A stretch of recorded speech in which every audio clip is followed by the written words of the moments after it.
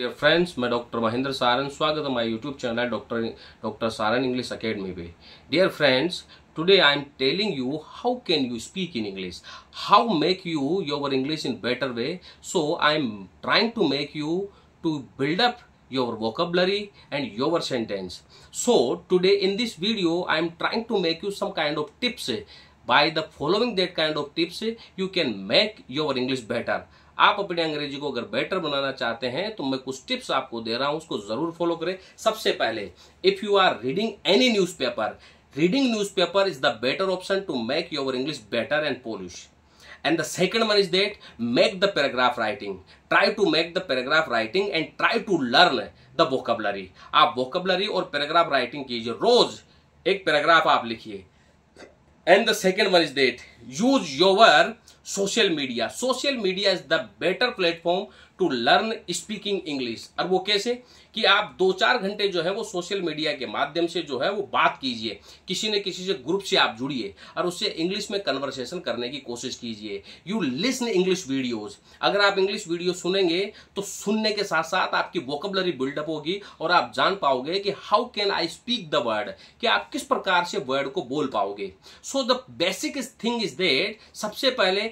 newspaper reading is the better option and the second one is that make the paragraph writing and the third one the use the social media आप social media का प्रयोग कीजिए and fourth option जो ये है कि आप कहीं भी जाएं तो आप चीजों को ऑब्जर्व करना शुरू कीजिए आपके दैनिक जीवन में काम में आने वाले जो वर्ड मीनिंग है उनको आप टटोलिए जैसे कि फॉर एग्जाम्पल आप जैसे कि कोई ग्रहणी है तो ग्रहणी संबंधी क्या चीजें होती है घर में ऐसी कौन कौन सी सब्जियां हैं फल हैं या कौन सी जरूर जरूरी चीजें जिनके ऊपर हमें बात करनी पड़ती है आप उन वर्ड अपने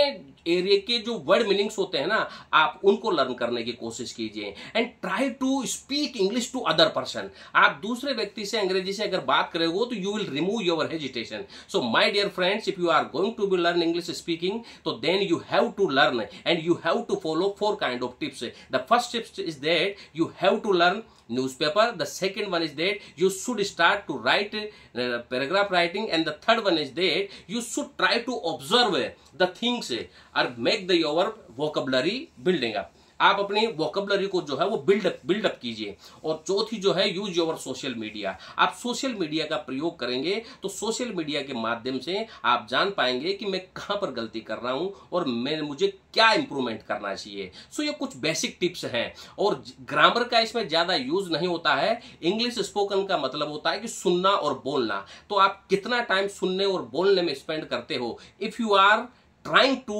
listen eh, what i'm saying you and if you are going to eh, if you are going to make the practice what i'm telling you so then definitely you will speak english thank you very much dear friends bahut bahut dhanyawad